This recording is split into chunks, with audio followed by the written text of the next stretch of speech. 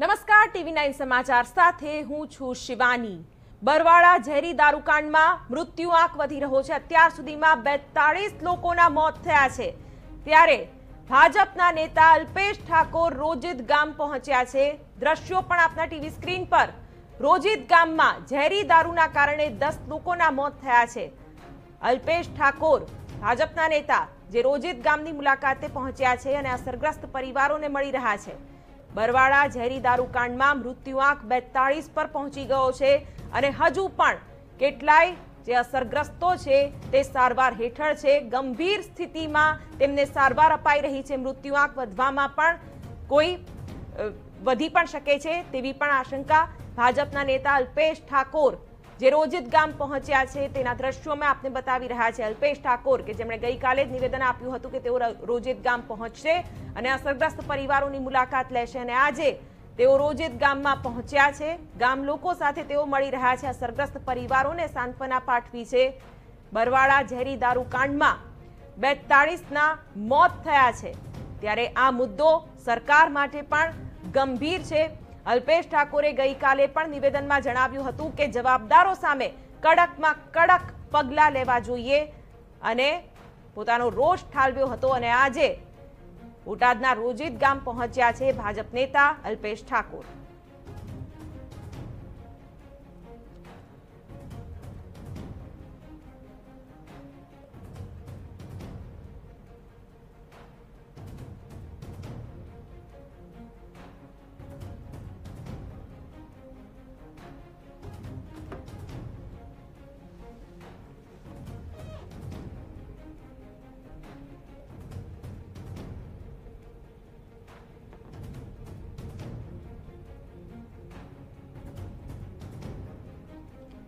ત્યારે અલ્પેશ ઠાકોરનું નિવેદન પણ આપને સંભળાવીશું. અલ્પેશ ઠાકોર કે જે રોજિત ગામ પહોંચ્યા છે, ગઈકાલે પણ તેમણે આક્રોશ વ્યક્ત કર્યો હતો આ ઘટના સામે અને જવાબદાર અધિકારીઓ સામે પગલાં લેવાય તેવી અલ્પેશ ઠાકોરે ઉગ્ર માંગ કરી હતી. અને આજે રોજિત ગામ ખાતે અલ્પેશ ઠાકોર પહોંચ્યા છે. અને જે રીતે મૃત્યુઆંક વધ્યો છે તે પણ ગંભીર પ્રશ્ન ચોક્કસથી કહી શકાય. ત્યારે અલ્પેશ ઠાકોર થોડી જ વારમાં મીડિયા સમક્ષ આવશે અને નિવેદન આપશે.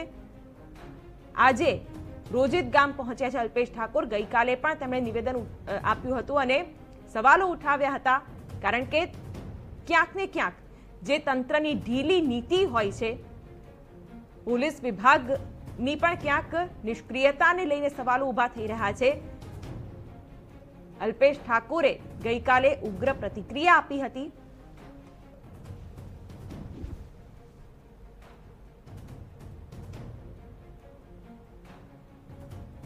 જયારે પૂછ્યું કે અહીંયા ધંધો કોણ કરે છે, તો બે પરિવાર ધંધો કરે છે દારૂનો. અને એક બે પરિવાર નશાખોરીનો ધંધો કરે ને એના કારણે આજે અનેક જિંદગી, અનેક ઘર બરબાદ થઈ ગયા છે. આશા રાખું છું કે આવું કોઈ ગુજરાતીઓ સાથે ના થાય, કોઈના ઘરમાં ના. દુર્ભાગ્યપૂર્ણ છે, દુઃખદ છે. એની બીજી વાત એવી હતી કે અમને ઘરસાનો પ્લોટ પણ નથી. એમને પોતાનું મકાન નથી, પોતાનું કોઈ આશરાનું કોઈ સાધન નથી. એ રીતે નશો તો અમે કોઈ સફાઈ કર્મચારી હતા, કોઈ મજદૂર હતા. તો કે રોજ કમાઈને રોજ ખાનારો વર્ગ. એ દરરોજના એડિક્શન નતા અમને ક્યારેક લેતા હતા.